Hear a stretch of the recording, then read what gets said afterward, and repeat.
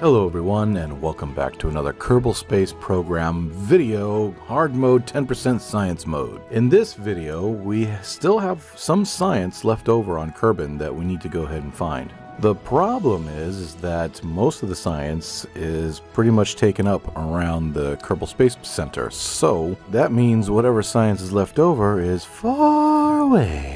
And while yes, I could build a rocket to hopscotch over there real quick, the likelihood of me landing on the exact spot that I need to be on is, well, it's bad. It's just bad, okay? So what happens when you need to get an exact area or exact spot that's far away? Well, you fly there. But the problem with flying is that we only got one type of jet engine. It is the meek, it is the beautiful, tiny little, very low tech Juno engine. Not very powerful, but it does sip on fuel. I'll give it that. It's it's it's very sippy. It loves to sip. Now, could I have built a very small little aircraft? Yes. I could have. It, it could have had plenty of fuel on it and flown all the way there and back, sure. However, I like playing realistically. So for me, traveling halfway around the world in a small little Cessna-like plane was, it just didn't feel right. I wanted the Kerbals to be able to move around, have a bathroom, you know, sit down and eat, or just stretch out. So I opted to build a large, well, large in this case because of our technology so damn low, a type of large passenger science VTOL. Why has it got to be VTOL, you might ask? Well, because where we are going, where we are going, there are no roads. there are no landing pads. There are no, there are, there's nothing. And while yes, KSP is infamous for being able to land anywhere as long as you're slow and the pathway is flat-ish, you're fine. I didn't really know what the terrain was going to look like really, so I opted for VTOL because that's the safest bet, right? Right? Okay. Now, if the first craft that we built that was VTOL took about four engines to get off the ground, let alone two more to go forward for a total of six jet engines, I would prepare myself for how many engines this monstrosity would take. I would find out that it would be approximately double everything for a grand whopping total of almost almost 12 Juno jet engines. Now with all this extra weight and fuel, we are definitely going to need some lift on this bad boy, so I opted for a very large wing kind of body craft. Sort of took inspiration from the B-2 bomber. So after some testing and some finalization of the vehicle, I found out that the actual landing gears that we have, the crunchy ones, the go-kart landing gears, the freaking shopping cart landing gears, they were a no-go. now, the reason why they were a no-go was because of the simple fact that yes, they might have been able to keep the vehicle on the landing pad or keep the vehicle on the runway when it's on the ground, but when it came time to landing the VTOL craft gently on the ground, these things would crush under their own weight. Now, yes, there was some times that I was very careful, super, super careful, and landed just right to where they didn't have to pop. But that wasn't all the time. Normally they'd always pop. So I opted for the tried and true girder segment. Girder segments are a piece of or a part that you get in the game very, very early on, and they are very high tolerance impact. They make for great landing legs and landing gears early on in the game. Plus, if you point them in a, in, in a certain direction, they'll they won't create that much drag during flight, so win-win. Now, yes, there were some times where this thing would crash and I would hold my breath, turn blue, and hopefully my heart restarted after that. But thankfully,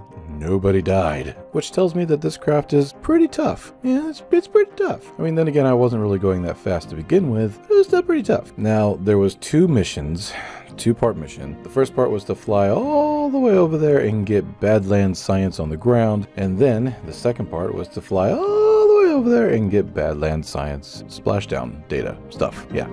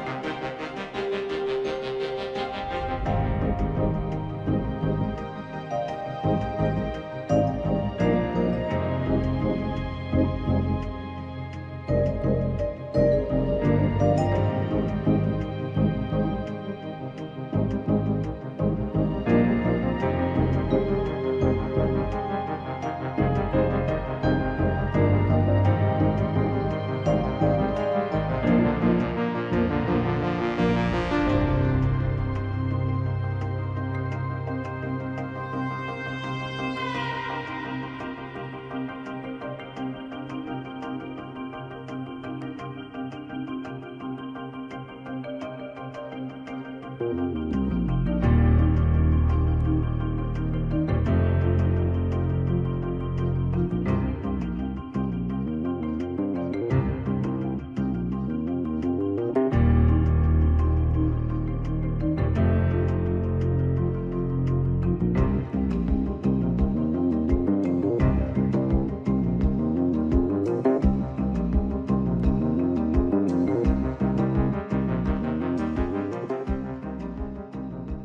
Now, of course, these missions would take forever. So, unless I'm doing something that's worth anything anymore, I'm not gonna be pulling these kinds of missions. I think I got like three science out of every mission, which in hard mode, where it's 10% science mode, which is good, it's just not worth it. So yes, I'm sure that there are many other places on Kerbin that have a handful of science left over from what we've been able to mine out. But until our technology gets so good that we can just zip there and grab it, I'm not gonna play this play this I'm, not, I'm not gonna play I am not gonna play this game where where you travel for an hour one-way ticket. I don't have time for it. Now, if I was to do a mission to Mars, I mean, uh, Duna, that I know that would take a few hours. So yeah, I mean, that would be worth it because by the time you come back, you'd have at least 50 science. Am I right? 10%? I don't know. But even though it took a while to get there and back, I will say that thanks to all of the beautiful mods that I have downloaded, which you can find in the description below, but you're going to have to really look for it because right now YouTube is is is mangling all of my descriptions for some reason. So with a little bit of searching, you'll be able to find the mods that I use. Um, they're all there, but I'm gonna have to find something. Either I either I put like a symbol in front of them or something because every time I well I made a video of this not too long ago. Every time I make a nice pretty column in the damn thing, it and I hit save, it just turns to gobbledygook. I've tried everybody's, I've tried everyone's tactic to fix it, and I might be doing something wrong. I'm still working on it because this this was never a never a thing. This was never a thing until recently. So until I can fix the descriptions gobbledygook thing, the information is there. You're just gonna have to dig for it. Sorry. Yeah, but the, the trip there and back was quite relaxing, actually. It's very beautiful. But that's all the time I have for today. Thank you so much for watching, and thank you so much for being a part of this channel. If you liked what you saw, please consider liking the video. And if you loved what you saw, please consider subscribing. Never do that again. Also have a membership program. If you become a member, get cool little emojis and badges and stuff next to your name. Pretty cool. Check it out. And that bell notification. But anyway, that is it for today. Love you all. Stay safe. And I'll see you in the next video. Bye for now. Bye-bye.